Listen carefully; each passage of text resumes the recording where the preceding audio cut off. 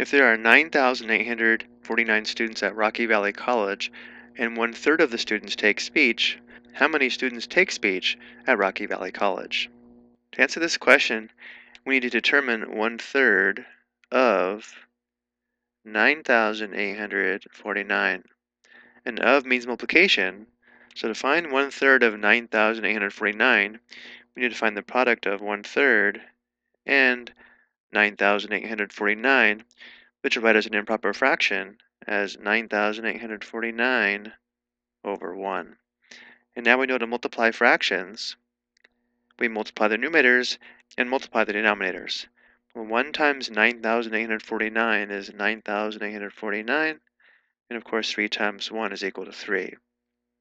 Now we can simplify this fraction or recognize that a fraction bar means division, and therefore this is equal to 9,849 divided by 3.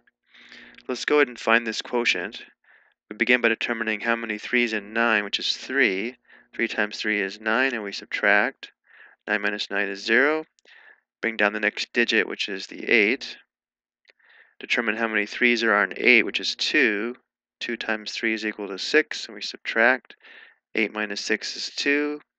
Bring down the next digit.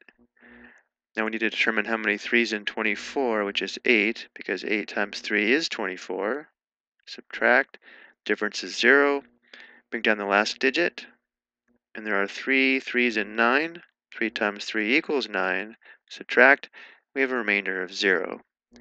Now we know this improper fraction simplifies to 3,283.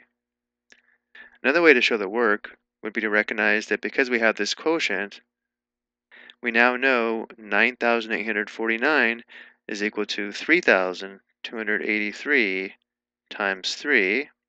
The denominator is still 3, and now we can actually see the common factor of 3 between the numerator and denominator. Either way, of course, when simplifying, we get the same result of 3,283.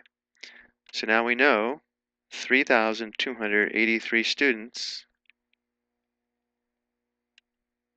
take speech. I hope you found this helpful.